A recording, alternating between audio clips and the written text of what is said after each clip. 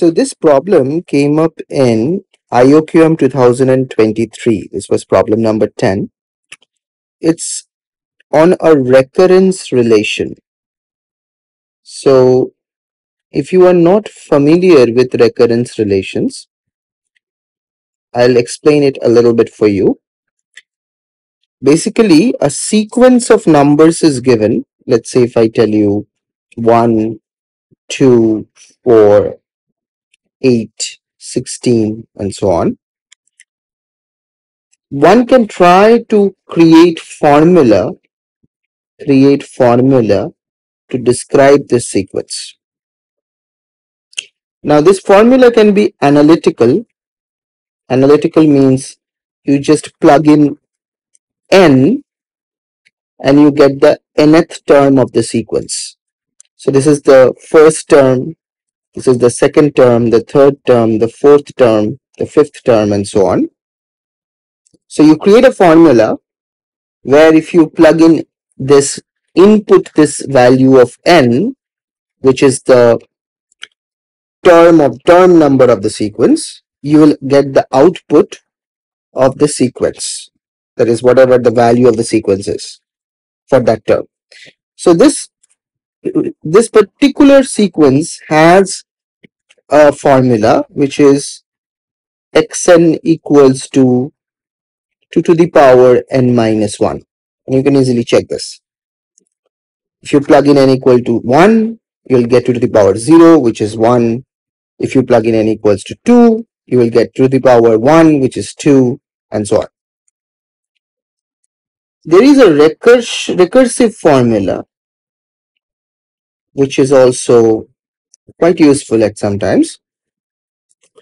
The recursive formula in this particular case is x1 is 1 and for n greater than or equal to 2 xn is equals to 2 times xn minus 1. So what we say is that every next term is twice the previous term. So this formula also describes this sequence in a different way. So this particular problem speaks about such a recursive relation.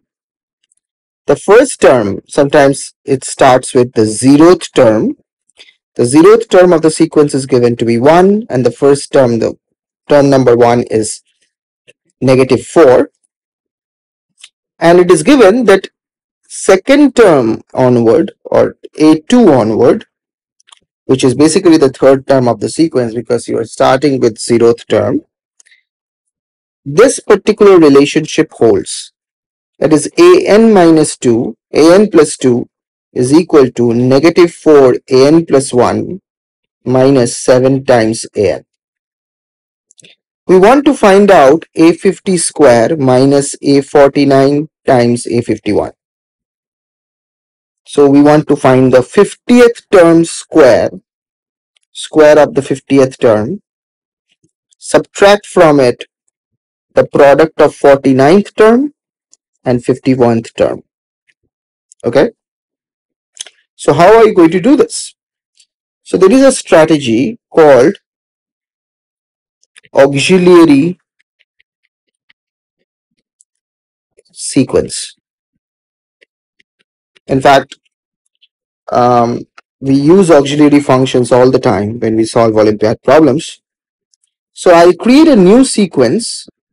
Let's call it xn which is equal to an square minus an minus 1 times an plus 1 okay so basically I am trying to mimic this final object.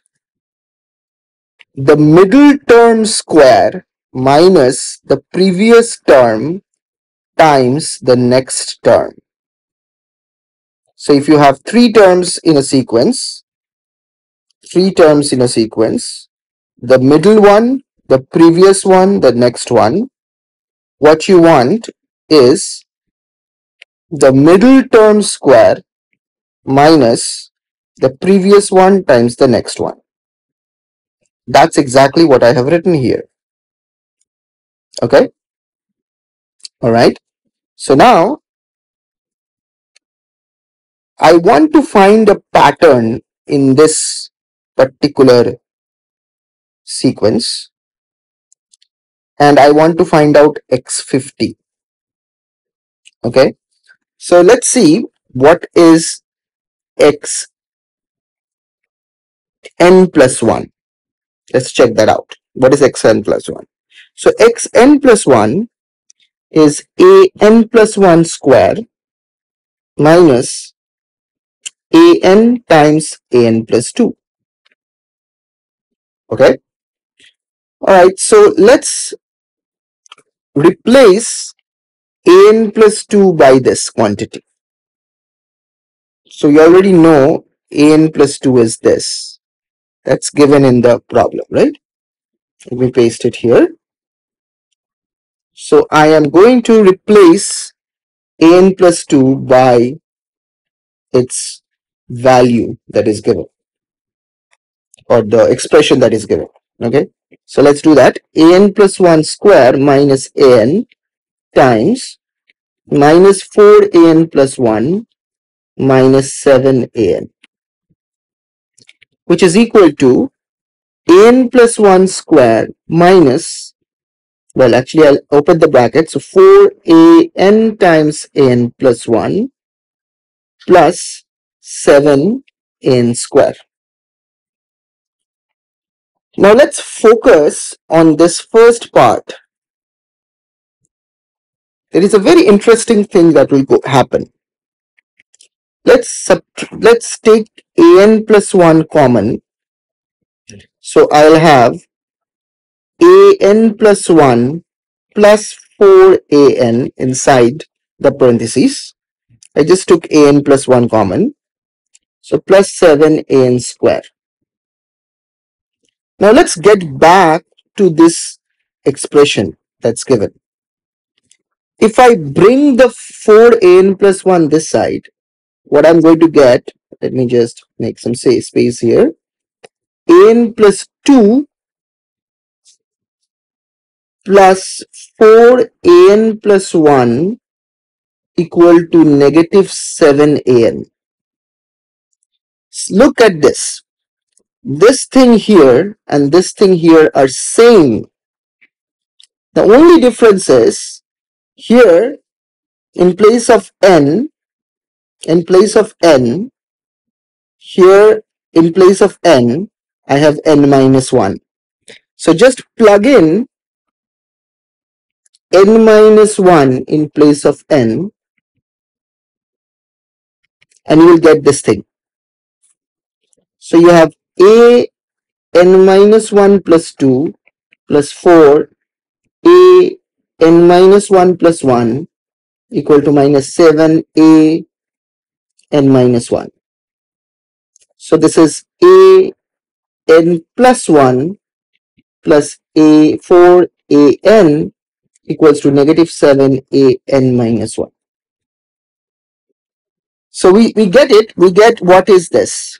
This is simply negative 7 a n minus 1. So finally we get 7 a n square. This is coming from here. Minus 7 a n minus 1 times a n plus 1. So let's take 7 common n square minus n minus 1 times n plus 1 which is xn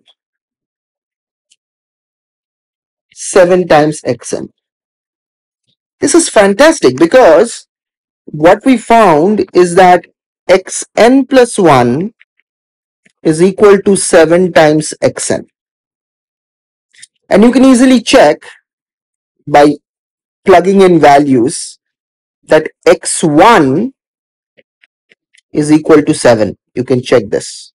First calculate a2 and then calculate x1. So x1 is 7. So if xn plus 1 is 7 times xn, then x50 is simply 7 to the power 50. Actually, the question asks how many divisors are there of this number of x50 or how many divisors are there of this thing. So there are 51 divisors. So the answer is 51 in this particular case. I hope you learned something. I'll see you in the next one.